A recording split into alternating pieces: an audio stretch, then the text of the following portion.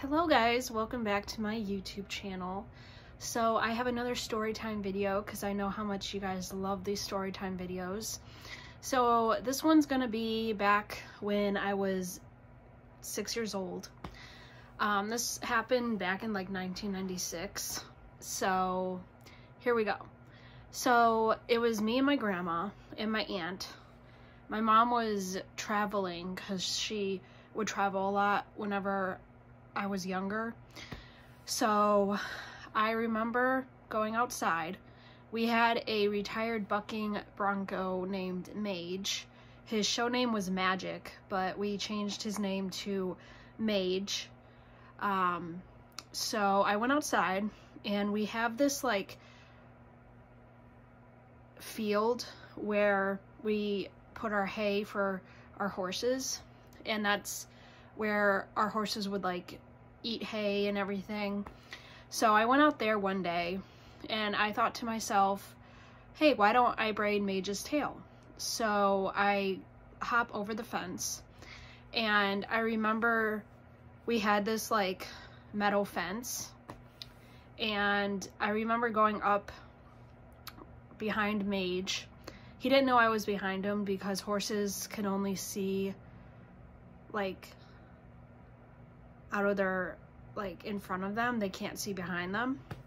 So I re I remember going up to his tail because I wanted to try to see if I could braid his tail.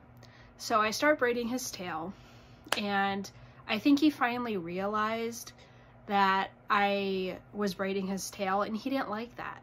So he's like I'm gonna kick I'm gonna kick this bitch and send her flying Mind you, I was only six years old.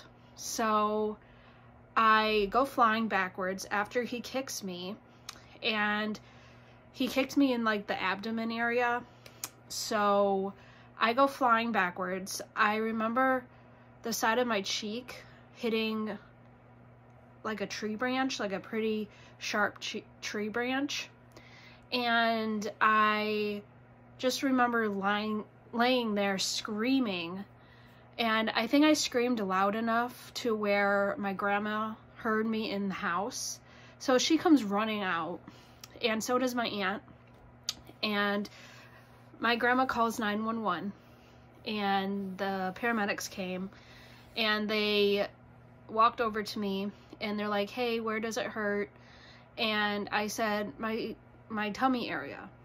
And so he checks me over, I remember going into the ambulance and going into the hospital was probably the scariest part just because I was young and I didn't know what was happening because of the shock.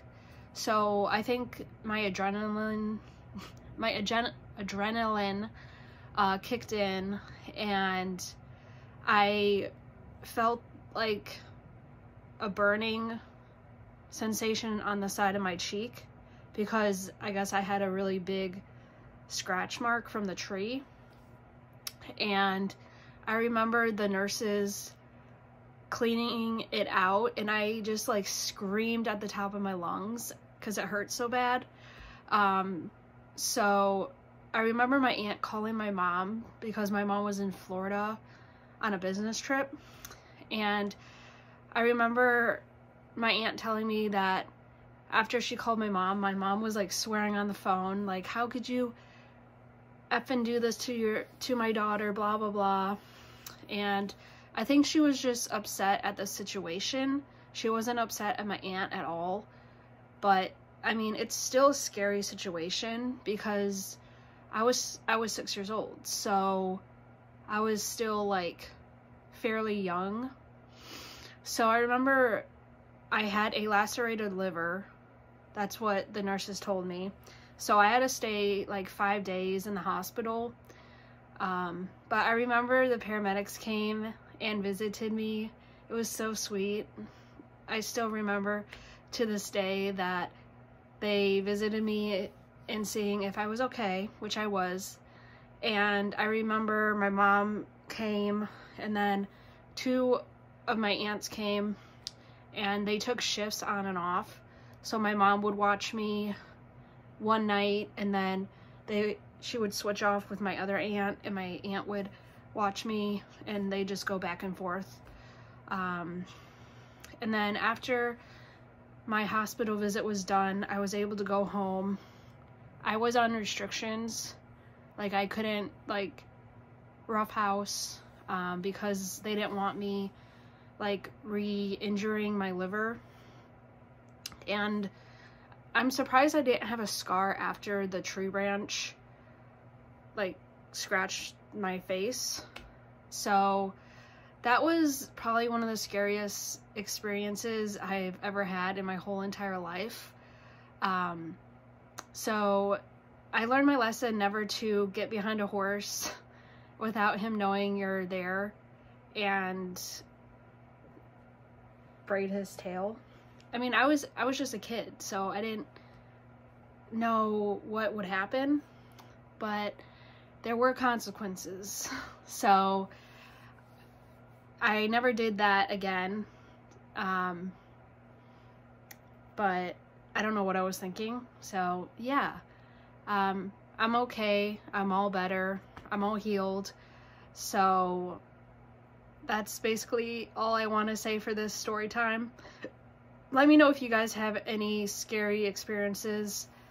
Um, if you would kindly share them in the comments below and I would love to know because I'm I'm nosy like that.